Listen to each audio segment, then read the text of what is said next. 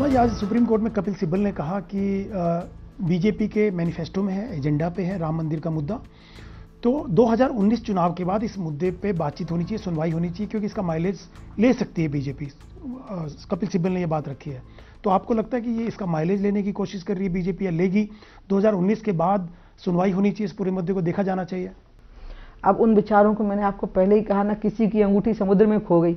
अब वो ढूंढे जा रहा है। अब क्या है कि कांग्रेस की विजय, सत्ता की आकांक्षा, ये बहुत गहरे निराशा के समुद्र में डूब गए हैं वो लोग। वो इसी को भूल गए हैं कि 2014 के चुनाव में हम क्लियर मेजोरिटी से जीते हैं। हम उत्तर प्रदेश में क्लियर मेजोरिटी से जीते हैं। अभी अभी हम उत्तर प्रदेश की सारी लोकल बॉडी जीत गए। अच्छा मैं ललितपुर 40 साल बाद जीती हूँ अपनी खुद की नगर पालिका ठीक है, अमेठी में वो लोग हार गए हैं। तो वो तो अब तो समुद्र में अंगूठी ढूँढने के जैसा है। ये तो निराशा के कारण ऐसी बेचारे ऐसी बातें कर रहे हैं वो लोग। हम तो 2014 का चुनाव क्लियर मेजोरिटी के साथ में जीते हैं।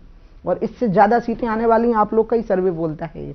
इसलिए उनका ये कहना कि इस मुद्दे को आगे कर दो या पीछे कर दो, वो ये नहीं समझ पा रहे हैं कि इससे उन्हें कोई लाभ नहीं होने वाला, क्योंकि लोगों का विश्वास वो खो चुके हैं। और वो विश्वास ऐसा खोया है जैसे समुद्र में अंगूठी खो जाती है, वो नहीं मिलेगा वापस। तो आपको लगता है 2019 से पहले जैसी सुनवाई चल रही है वैसी सुनवाई राम मैं नहीं कह सकती हूँ इसके बारे में मैं आपको फिर कहूँगी देखिए कोर्ट की सुनवाई शुरू हो चुकी है कोर्ट की मर्यादा तय है आप मुझसे मर्यादा आनंद के लिए नहीं बोल पाएँगे ना बुलवा पाएँगे।